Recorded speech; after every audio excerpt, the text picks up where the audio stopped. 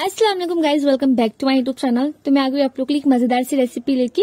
तो मैं आज आप लोग साथ शेयर करूँगी मटन महारानी की रेसिपी जो काफ़ी ज़्यादा लजीज और काफ़ी ज़्यादा टेस्टी बनती है। हम बनाएँगे ढाबा स्टाइल मटन महारानी की रेसिपी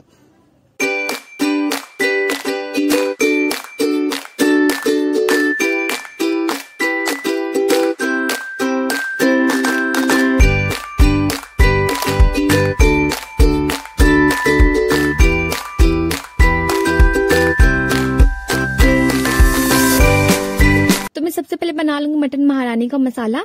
उसके लिए मैं ली हूँ छह से सात सूखी लाल मिर्ची वन टेबल स्पून करीब जीरा वन टेबल स्पून करीब धनिया पाउडर वन टेबल स्पून करीब सौंप तीन छोटी इलायची चार बड़, एक बड़ी इलायची चार लौंग जावित्री जायफल। ये सबको मैं हल्का सा भून के इसको पीस लूँगी। फिर मैं लूँगी अदरक लहसुन हरी मिर्च और फिर मैं ले लूँगी ड्राई फ्रूट। में लूँगी मैं बादाम काजू। उसके बाद इसको भी पीस लूँगी मैं।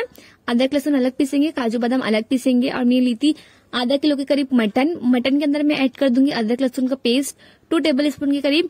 उसके बाद मैं इसमें ऐड कर दूँगी जीरा पाउडर, हल्का गरम मसाला और नमक अपने टेस्ट के अकॉर्डिंग हम इसके अंदर फिर मैं ऐड कर दूँगी दही। दही में ली हूँ तकरीबन पचास ग्राम के करीब। ये सबको तो अच्छे से मिक्स करके मैं रख दूँगी आधे एक घंटे के लिए। आप चाहे तो ओवरनाइट भी इसको रख सकते हो मैरिनेट करके। फिर मैं ले ली थी कुकर कुकर के अंदर मैं डाल ली हूँ तेल। तेल में ली हूँ वन टेबल स्पून के करीब। इसमें मैं दो चॉप की प्याज ऐड कर दूँगी। प्याज को हम हल्का ब्राउन होने के लिए रख देंगे। जब तक प्याज ब्राउन हो जाएगी, फिर मैं इसके अंदर ऐड कर दूँगी मैरिनेट किया हुआ मटन मटन ऐड करने के बाद इसको हम अच्छे से भून लेंगे तकरीबन दो से तीन मिनट के लिए। इसको भूनने के बाद मैं इसके अंदर ऐड कर दूँगी वन कप के करीब दूध। दूध ऐड करने के बाद ये सबको तो अच्छे से मैं फिर से मिक्स कर लूँगी तकरीबन पाँच से छह मिनट के लिए। उसके बाद हम इसके अंदर ऐड कर देंगे मटन महारानी मसाला जो हम बनाए थे। वो मसाला ऐड कर दूँगी मैं तकरीबन वन टेबल स्पून के करीब। मसाला ऐड करने के बाद हम इसको एकदम धीमे आँच पे तकरीबन पाँच से छह मिनट के लिए भून लेंगे। हम जितना भूनेंगे हमारा सालन उतना ज़्यादा लजीज होगा।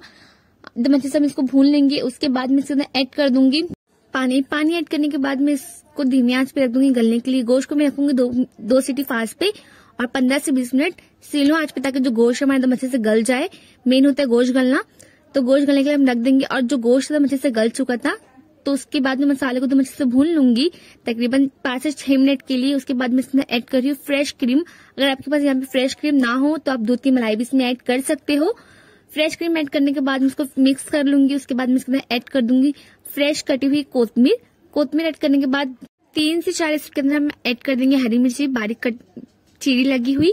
उसके बाद हम इस टाइम पे नमक भी चेक लेंगे। अगर नमक कम लगेगा तो हम इसमें ऐड कर देंगे।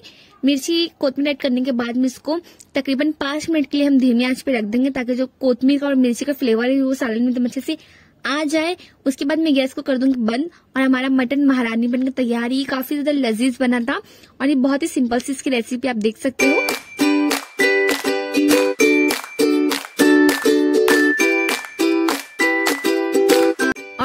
मज़ेदार सी मटन महारानी की रेसिपी तैयार है। आई होप आप लोगों को पसंद आई हो। अगर अच्छी लगी हो तो मेरे चैनल को like share comment and subscribe करना ना भूले और आप लोग एक बार इसे ज़रूर बना के ट्राई कीजिएगा। अल्लाह हाफिज।